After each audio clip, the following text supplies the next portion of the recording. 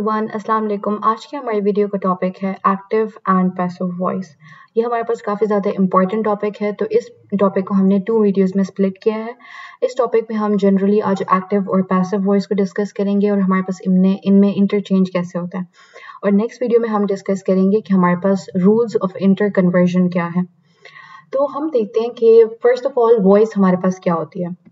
तो वॉइस हमारे पास एक ऐसा टर्म है जिसमें हम डिस्क्राइब करते हैं कि हमारे पास, अगर हमारे पास किसी सेंटेंस का सब्जेक्ट है तो हमारे पास वो सब्जेक्ट हमारे पास डूअर है या फिर उस एक्शन का रिसीवर है, ठीक है? तो हमारे पास क्या हो जाएगा? अगर हम सिंपली डिस्क्राइब करें तो हमारे पास वॉइस जो होती है किसी वर्ब की। वो हमारे पास रिलेशनशिप डिस्कस करती है बिटवीन द एक्शन एंड उसके पार्टिसिपेंट्स पार्टिसिपेंट्स हमारे पास कौन से होते हैं? सब्जेक्ट एंड ऑब्जेक्ट तो अभी हम जो दोनों वॉइस डिस्कस करेंगे एक्टिव एंड पैसिव वॉइस उनमें हम डिस्कस करेंगे वर्ब जो कि हमारे पास एक्शन होगा और हम डिस्कस करेंगे पार्टिसिपेंट्स को जो कि हमारे पास होंगे सब्जेक्ट या ऑब्जेक्ट अब क्या होता है कि एक्टिव और पैसिव वॉइस में हमारे पास इनकी सीक्वेंस में चेंजिंग um, होती है। अगर हम देखें एक्टिव वॉइस तो एक्टिव वॉइस हमारे पास एक ऐसा सेंटेंस होता है जिसमें हमारे पास सब्जेक्ट uh, तो हमारे पास हो गया नाउन या प्रोनाउन तो वही सब्जेक्ट हमारे पास होगा डूअर ऑफ़ द एक्शन यानी कि सब्जेक्ट हमारे पास एक्शन को परफॉर्म करेगा। और हमारे पास uh, जो हमारे पास वर्ब होगा वो हमारे पास हो जाएगा एक्शन इसका अगर हम स्ट्रक्चर देखें तो एक्टिव वॉइस में हमारे पास पहले आता है सब्जेक्ट देन हमारे पास आता है वर्ब या एक्शन और ऑब्जेक्ट जो होता है वो हमारे पास होता है रिसीवर ऑफ़ एक्शन तो सब्जेक्ट हमारे पास हो गया doer of the action and object हमारे पास हो गया receiver of the action similarly अगर हम नेक्स्ट वॉइस को डिस्कस करें, जो कि हमारे पास है पैसिव वॉइस तो उसमें हमारे पास क्या होता है कि यह, ये सीक्वेंस हमारे पास हो जाती है ऑपोजिट इसमें क्या होता है कि जो सब्जेक्ट होता है वो हमारे पास हो जाता है रिसीवर ऑफ़ द एक्शन यानी subject is one acted upon by the action या फिर हमारे पास जो वर्ब होगा. तो इसकी सीक्वेंस में हमारे पास पहले आ जाएगा ऑब्जेक्ट फिर हमारे पास होगा वर्ब और नेक्स्ट हमारे पास हो जाएगा सब्जेक्ट अगर हम क्विक रिकैप करें तो हमारे पास क्या था?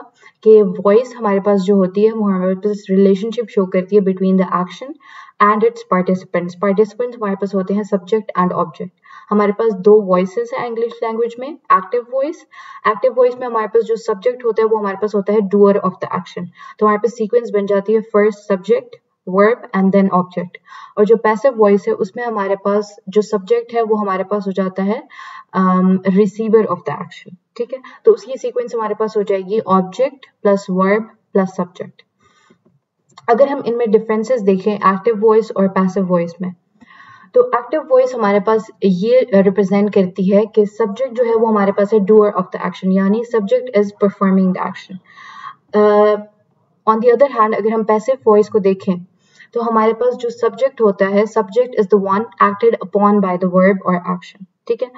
एक्टिव वॉइस में हमारे पास किसी भी लिंकिंग वर्ब की ज़रूरत नहीं होती। लेकिन हमारे पास जो पैसिव वॉइस होती है इनमें अब हम एग्जांपल देखेंगे। पैसिव वॉइस में हमारे पास जो लिंकिंग वर्ब है उसकी ज़रूरत होती है और हमारे पास होती है past participle form of the main verb अगर इसको समझाने के लिए मैं एग्जाम्पल्स uh, हम देखेंगे ना तो एक्टिव वॉइस हमारे पास हो जाएगी आई डेकोरेटेड द हॉल इसमें आई हमारे पास हो जाएगा सब्जेक्ट डेकोरेटेड हमारे पास हो जाएगा एक्शन और हॉल हमारे पास हो जाएगा ऑब्जेक्ट तो यहाँ पे हमारे पास कोई भी लिंकिंग वर्ड प्रेजेंट नहीं है. लेकिन अगर हम इसी सेंटेंस की पैसिव वॉइस देखें तो वो बनेगी हमारे पास the hall was decorated by me तो जो हमारे पास ऑब्जेक्ट था, वो पहले आ जाएगा। उसके बाद हमारे पास लिंकिंग वर्ब हो गया वॉज़ देन हमारे पास डेकोरेट डेकोरेट के हमारे पास आ गई पास पार्टिसिपल फॉर्म और हमारे पास हो जाएगा बाय मी ठीक है? अब एक्टिव वॉइस जो है ना, वो हमारे पास डूअर ऑफ़ द एक्शन पे फोकस करती है। यानी हमारे पास जो सब्जेक्ट होता है। लेकिन अगर हमारे पास पैसिव वॉइस को देखें ना तो हमारे पास डूअर ऑफ़ द एक्शन पे इतना फोकस नहीं होता, लेकिन हमारे पास जो ऑब्जेक्ट है, उस पर ज़्यादा फोकस होता है। जैसे इसमें मेन हो जाएगा द हॉल वॉज़ डेकोरेटेड ठीक है? यानी ऑब्जेक्ट पे हमारे पास ज़्यादा फोकस किया जाता है। एक्टिव वॉइस में हमारे पास एक direct straightforward clear tone होती है। लेकिन पैसिव वॉइस में हम इनडायरेक्टली बात कर रहे होते हैं। ठीक है? होपफुली आप लोगों को इंट्रोडक्शन में हमारे पास एक्टिव वॉइस और पैसिव वॉइस की जनरल डिफरेंसेस क्लियर हुए होंगे और हमारे पास इनके सेंटेंस स्ट्रक्चर की भी समझ आई होगी। इसी से रिलेटेड अब हम एक क्वेश्चन सॉल्व करते हैं। क्वेश्चन हमारे पास है which of the following is an example of active voice तो हमारे पास चार ऑप्शंस दिए गए हैं, इनमें हमारे पास चार सेंटेंसेस हैं, इनमें से हमने एक्टिव वॉइस में जो सेंटेंस है, उसको सिलेक्ट करना है। तो फ़र्स्ट हमारे पास आ जाता है he posted the video on social media ठीक है? अब हमारे पास इसमें अगर हम सब्जेक्ट देखें तो हमारे पास हो जाएगा ही एक्शन हो जाएगा पोस्टेड एंड हमारे पास ऑब्जेक्ट हो जाएगा वीडियो तो इसमें हमारे पास सीक्वेंस क्या बन रही है? Subject plus verb plus object तो ये तो हमारे पास सीक्वेंस बिल्कुल एक्टिव वॉइस के स्ट्रक्चर की बन रही है. नेक्स्ट ऑप्शन देखते हैं.